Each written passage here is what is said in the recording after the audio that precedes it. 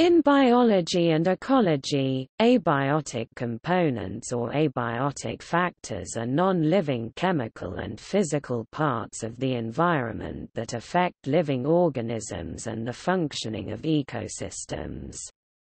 Abiotic factors and the phenomena associated with them underpin all biology. Abiotic components include physical conditions and non-living resources that affect living organisms in terms of growth, maintenance, and reproduction. Resources are distinguished as substances or objects in the environment required by one organism and consumed or otherwise made unavailable for use by other organisms. Component degradation of a substance occurs by chemical or physical processes, e.g. hydrolysis. All non-living components of an ecosystem, such as atmospheric conditions and water resources, are called abiotic components.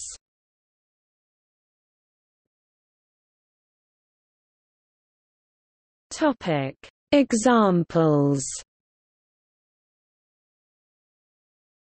In biology, abiotic factors can include water, light, radiation, temperature, humidity, atmosphere, and soil. The macroscopic climate often influences each of the above.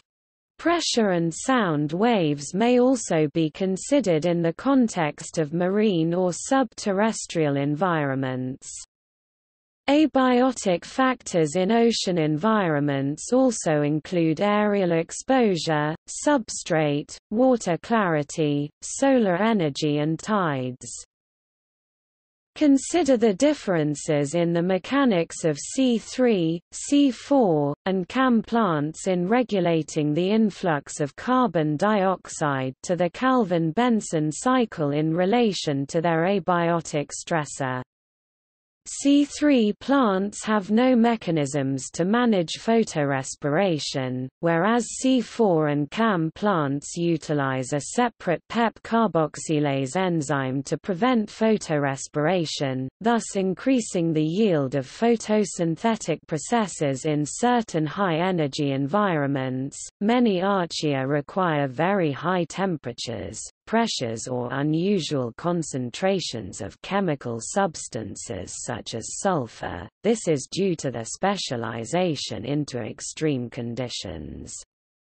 In addition, fungi have also evolved to survive at the temperature, the humidity, and stability of their environment. For example, there is a significant difference in access in both water and humidity between temperate rain forests and deserts.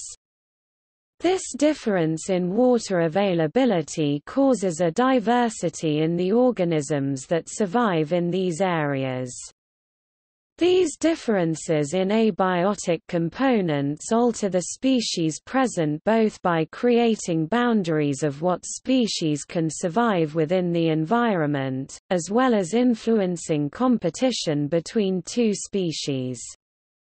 Abiotic factors such as salinity can give one species a competitive advantage over another, creating pressures that lead to speciation and alteration of a species to and from generalist and specialist competitors.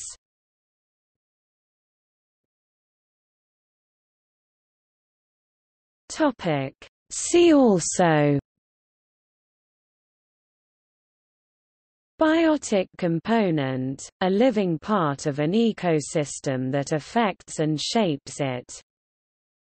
Abiogenesis, the gradual process of increasing complexity of non-living into living matter. Nitrogen cycle Phosphorus cycle